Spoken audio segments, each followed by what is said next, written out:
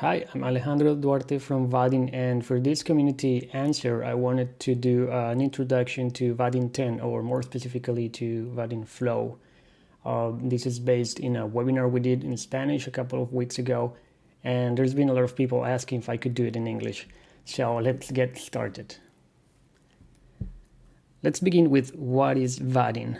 So Vaadin is first of all a Finnish company uh, with offices in Finland, of course, and um, the US and Germany. Uh, it's been around for uh, more or less 15 years and uh, has a lot of experience in web technologies and web development. Uh, but Vaadin is also an open source platform that simplifies web application development.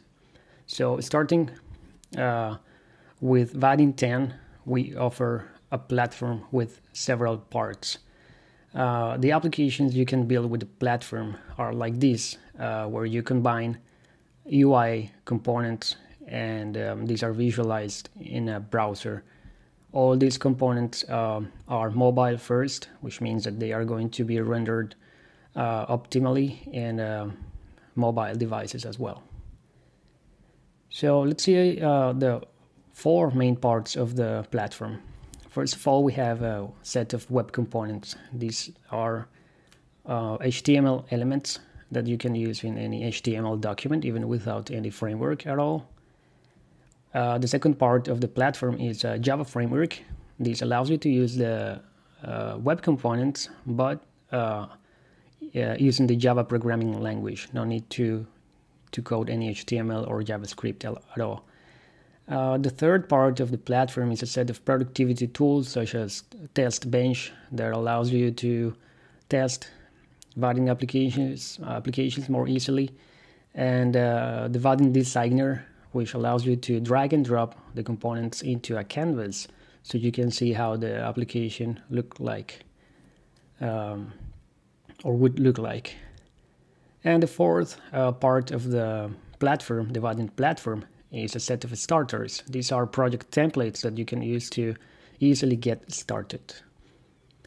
So uh, we're going to focus on the Java part of uh, this platform, which is a Java framework and it's called Vaadin Flow. So how do you use Vaadin Flow? Here you have the typical Hello World application developed with Vaadin Flow. As you can see, it's just a class and uh, it uses the API of Vaadin Flow to define the UI. Uh, this class can be compiled and packaged into a WAR file and then deployed to any servlet container such as Tomcat Jetty, Glassfish, Wildfly, or WebLogic. And when you run the application and uh, request it from a web browser, uh, it would look like this one here. So let's go through the code. First, you see that this class, the hello world class, is annotated with the annotation, with this annotation route. Uh, there you can specify the URL that the user has to to uh, put in the browser in order to see this hello world view. You can have as many of these as, as you want. Um, the UI itself is uh, formed by a text field, a button, and they are added into a vertical layout. So notice how the Hello World class extends vertical layout. This means that when we use the add method, uh, the components are going to be shown as like in a column. Um, also, the way we add behavior to this application is by using event listeners. Uh, in this example, we are using a click listener for the button uh, and uh, defining a lambda expression that uses uh, the same add method from the vertical layout to add a new span component into the UI. And it also uses the value of the text field. Uh, in this case, uh, in this example, is John Doe. And um, yeah, so it's that simple how you can create a, a UI using uh, Vaadin Flow. So how can we create a new project with Vaadin Flow? Well, the easiest way is to go uh, to go to vaadin.com slash start and select one of the starters. Uh, depending on your needs, uh, you can integrate with uh, other technologies as well. But in the end, uh, Flow is just a dependency you drop into your web application, into your Java uh, web project. Um, uh, be sure that the, make sure that you check the latest version from the website. Uh, at the time of recording this video, it's uh, 10.0.0 release candidate 3, so it should be very similar to the final version. Uh, you will need also the Servlet API, of course, 3.1 uh, or later. And if you're planning to uh, deploy to a production environment, you will need the Vaadin Maven plugin, which uh, allows you to, to or makes your application um, usable in older browsers that are not compatible with modern technologies. It also optimizes the size of the uh, client-side engine. But let's see all this uh, in a more practical way through a demo. So let me show you what we are going to do. I have a sketch here of a, a comment system, a very, very simple one. I have an image here, I have a table with all the comments. This is going to be a grid in flow terms. We have an area here, a text area, to type some new comment and then a button to send this comment to the uh, database and, and, and, also to show it here. Um, so uh, first step is uh, vaadin.com slash start and select project base. These are the starters. You will need to use uh, uh, to configure a, a, name for your project. I'm going to use Vaadin demo. Click download, extract this zip file, and you'll see that this is just a Maven project that you can import if I can drag it here uh, into any IDE. I'm going to use IntelliJ IDEA you can of course use Net, NetBeans or Eclipse if you want. So um, let me uh, enter the presentation mode. And let's see what the starter generated for us. So first of all, we have two classes here. Main view that can be seen like um, the entry point of the application if you want uh, it has a route annotation here. There is uh, an empty string, which means that you can access this uh, uh using the, the root context. Um, it uses some components and some custom components. For example, this example template is, is here. And if you have a look at this file, it imports somehow. Let's not go through the details, but uh, it imports uh, an HTML file. This is a, an optional um, feature of the framework. It allows you to define the like the components also in HTML in a template. We're not going to use these actually, so I, am actually going to remove all the code here. Even this command, I don't want to um, use uh, much space for this.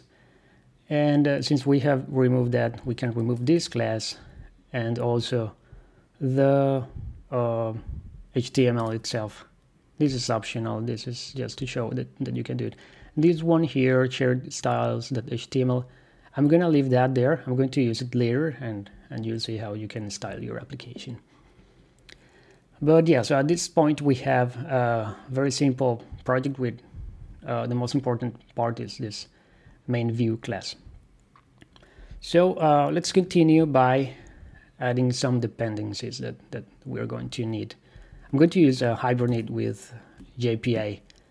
So I'm adding these uh, two dependencies, Hibernate and an H2 database.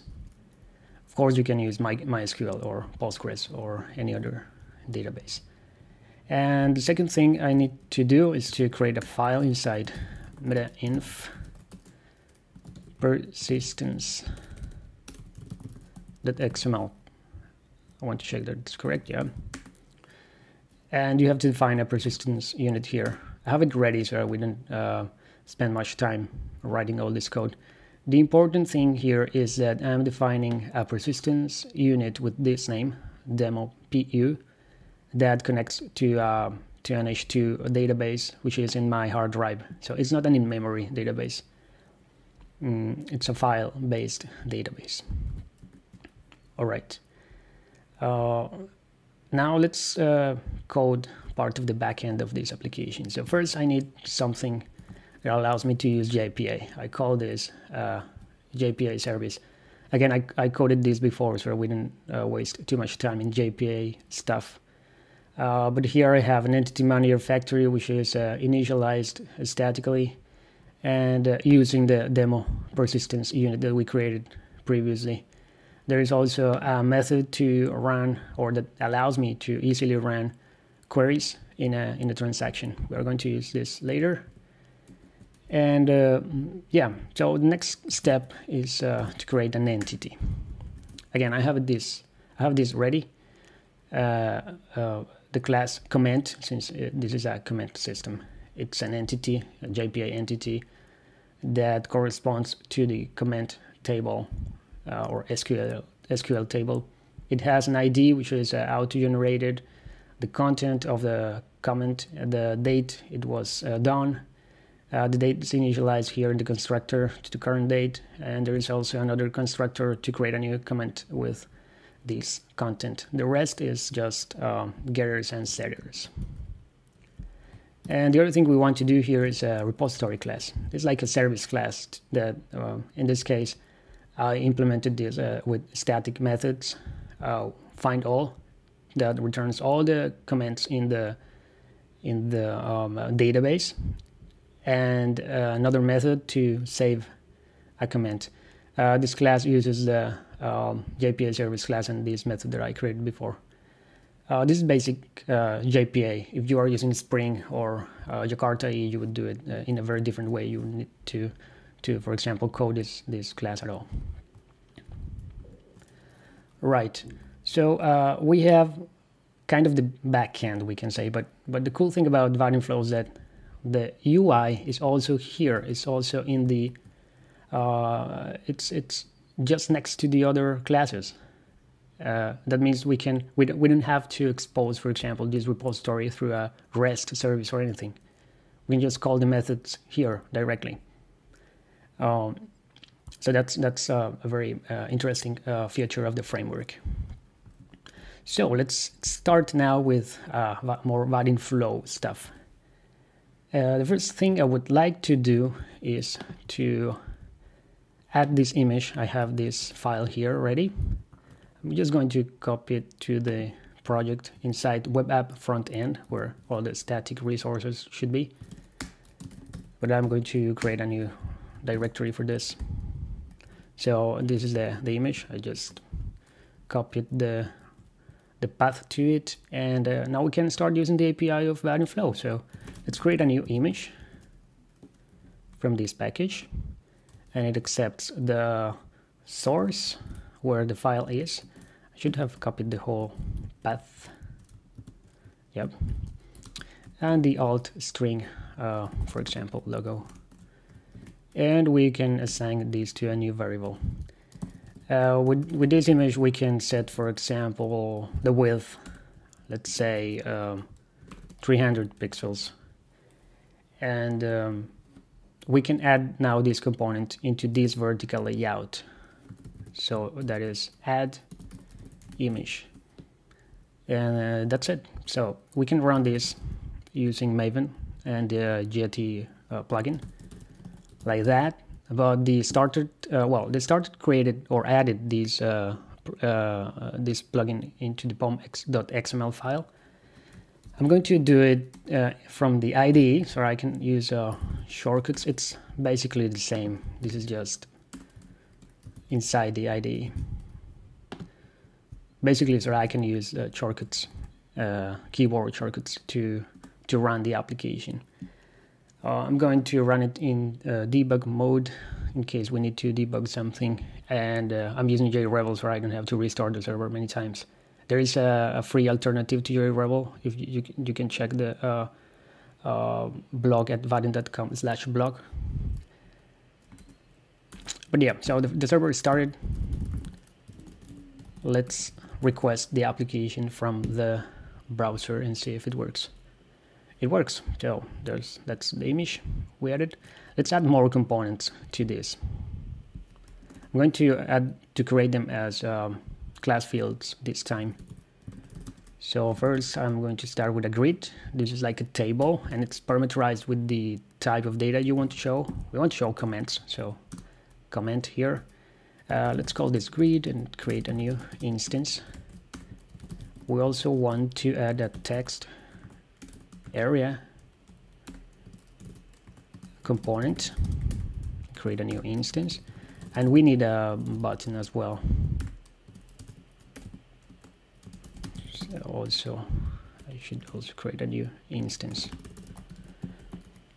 and here we're going to specify the text inside the button for example send the new new comment uh, now we can add these uh, components into the vertical layout in, the, in this same call. So text area, or actually grid first, text area and button. All right, before we uh, run the application or before we uh, compile it, let's configure some of these uh, components.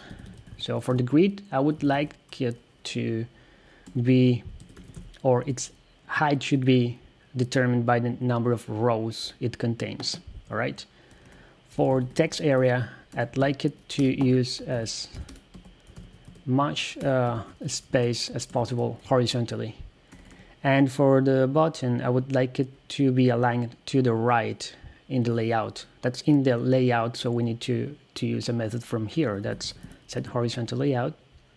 Uh, actually, uh, set horizontal component alignment and you specify the alignment this is alignment end and uh, the component you want to align this is using uh, flexbox terminology if you're wondering so yeah we have configured these uh, three components let's see if they look as uh, like we uh, like we wanted So it works. Uh, this line here is a grid. Uh, there are no rows, so that's the reason it's shown as, as like, like this because we said that we want to be, the height of it should be uh, determined by the number of rows, which there are none. Uh, this is the text area and the button that at the moment doesn't do anything. So we need to do that to uh, implement some behavior here and we also need to add two things, columns and rows. So let's start with that. So columns, as simple as add a column. And you can see uh, there are many versions of this uh, method. The one I like is this one that receives uh, something called value provider.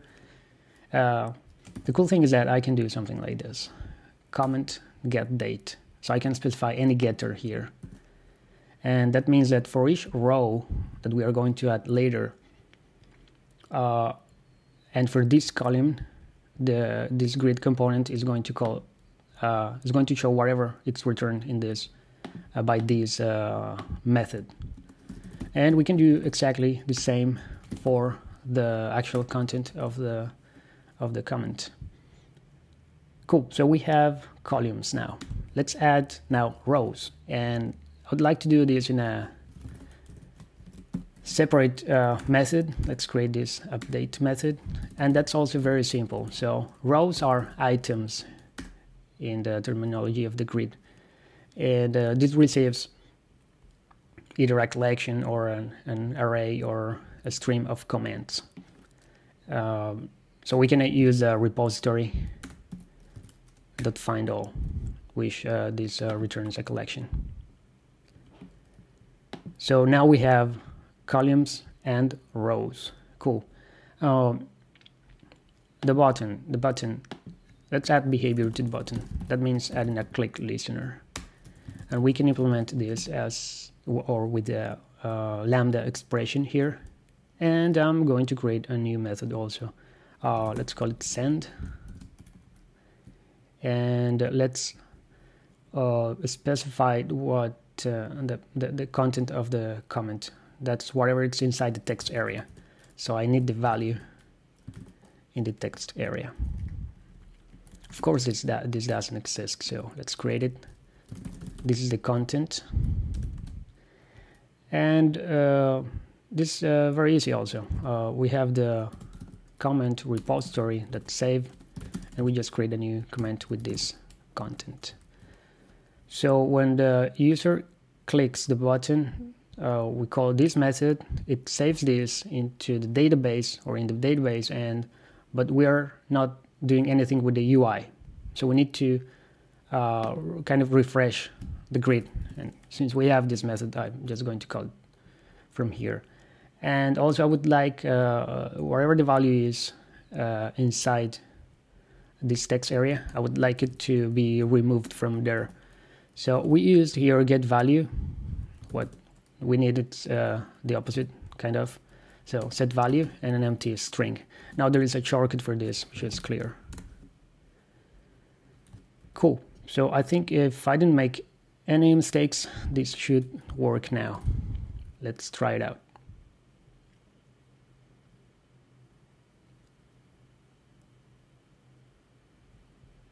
let's try to type a new comment here yeah it works so the date and the content of the comment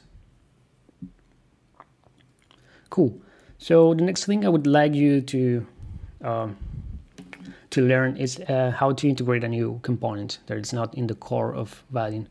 So for example, let's say uh, we wanted something more sophisticated than this uh, text area. So I would recommend you always go first to vaadin.com slash directory and uh, and uh, uh, check whether there is an existing component for Vaadin 10. So click this option here and maybe there is something ready for Vaadin flow. If not, you can check also, for example, web components. But moreover, you can go anywhere else and and and try to find a, a custom element. Here, I'm going to get a, a web component from webcomponents.org. It's called Monaco Editor. If this uh, shows it, yeah. So it's pretty interesting because it's used by Microsoft Visual Studio, and uh, well, it's uh, I'm interested in this element here, Monaco Editor. Uh, as you can see, this is um, an HTML element. So first thing we need to do is uh, to um, download this this component. So I'm going to copy the Bower uh, command there, and uh, well, keep in mind you need to move to source main web app front end. This directory paste the command there. You need to install bower. This is just to download uh, kind of uh, static resources. That's it. You need to learn much about bower uh, just keep in mind that it, it creates uh, a new bower components directory here in the web app front end. And inside this uh, it, uh, bower is going to put all the web components that you install. Uh, particularly uh, we see the Monaco editor and these are dependencies. So this this element or web component needs all of these resources as well and if you have a look at what's inside Monaco editor you'll see that there's most it's mostly um, HTML and JavaScript so we don't want to use JavaScript or HTML we want to use Java so let's create a Java class called Monaco editor. You can call it whatever you want. The important thing is to uh, use the tag annotation and specify the name of the HTML element, which is Monaco editor. And also you need to import the HTML that defines this uh, uh, Monaco editor uh, web component. Uh, it is this file, so I'm going to copy the the route to that or the path to that file. With this annotation, you shouldn't specify front end here. And last thing you need to do to make this uh, a Vaadin component, right now it's just a, a, class, it's not actually a Vaadin component. You need to extend, for example, component. Uh, since we are extending component, we can uh, right now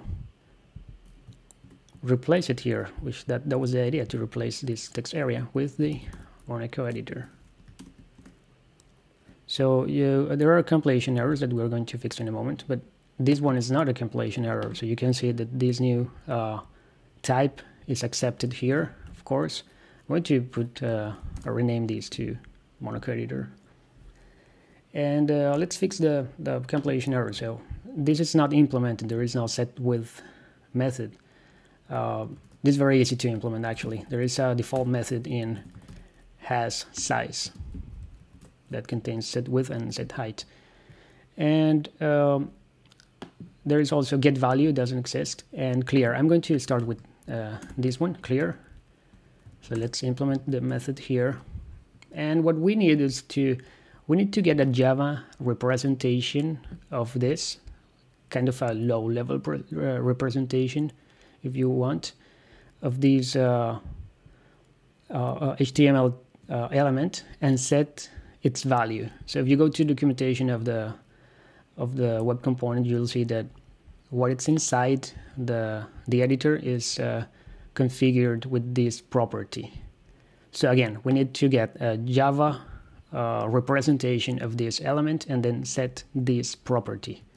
And that's very easy. Since this is a component, we can call get element. So we have this now. And now we need to set the property. So again, there is a method for that the property we are interested in is value and we specify an empty string since this is clear. Uh, I know this component uh, needs uh, uh a value for this property so I'm going to call the uh, clear method from the constructor to make sure that there, there is at least an empty string defined for this. Uh, so this is fixed or implemented and the other one is get value. So it's kind of similar to, to this. Instead of uh, setting the property, we need to uh, get the property. So get element, get property, and the property is value. Now there is another detail we need to fix here, and it, it is uh, related to the following. Uh, this property changes in the browser, but this element doesn't know anything about uh, Java frameworks or and, and particularly nothing about Vaadin Flow, right? So we need to do something to inform uh, Vaadin Flow or, or the server to update its uh, Java representation, let's call it like that, whenever this changes. Now, if we go to the uh, events, uh, the documentation for the events, we, we will see a value change event that it's fired when the value property changes. It's just what we need. So with Vaadin Flow, it's as easy as using the synchronize annotation, specify the name of the event. And with this, is going to keep uh, the, the server um, server side um, updated whenever this is called, right? So now this compiles let's compile the project and and see if it works. So it seems to be working. So this is the editor. It asks them how to complete features and and well uh, of course it doesn't make sense to to have a, a, code editor for a command system. But anyway it's just an example. And let's see if this works. Yeah it works. So get value works and set value works also because now it's empty. Uh, so yeah, uh, this is how you can integrate an existing existing uh, web component. And uh, let's jump into the last part of this video, which is how to customize a little bit the look and feel of this application. So remember I said I, I was going to keep this here. Well, that's the file you have to use to modify the styles and it's uh, uh, you can do with CSS. So here's an example already of some CSS. I'm going to remove it from now. Uh, you need this notation because we are styling um, web components and web components have something called shadow DOM. So in order to style that shadow DOM, we have to use this notation. So let's create a selector, for example, and you can use any CSS rules here uh, but the cool thing about Vaadin Flow is that it comes with uh, a theme called Lumo, and it contains, in turn, a set of variables that you can use to uh, modify the styles more uh, easily because uh, it will change, for example, the border color or fonts uh, of all the components. So of the buttons, text fields, and checkboxes, all of these components are going to take this these new values. So uh, and that's pretty cool. And I have an example here. So I'm changing the the fam the font family. I'm making the things a, a little bit more rounded, and I'm changing the background color to a different kind of white and also changing the primary color to another kind of blue and uh, I just need to refresh here I think yeah as you can see the font is different now this is rounded and it's blue uh, you can also add styles to your own uh, components. So this is we created this. So let's add a CSS class name for example main view. I'm going to copy this. And I'm going to compile because that was a Java file. And now we can uh, just create a selector here for, for that uh, class name and change, for example, we can add some uh, shadow. So I'm going to define it like this. And, um, uh, sorry. And I think it's the color that goes here. So 0.3 for the alpha value. We can change the background color to something like, I know this. And we can set a max width of um, 600 pixels. We can also specify a margin to m. We can also specify a padding, for example.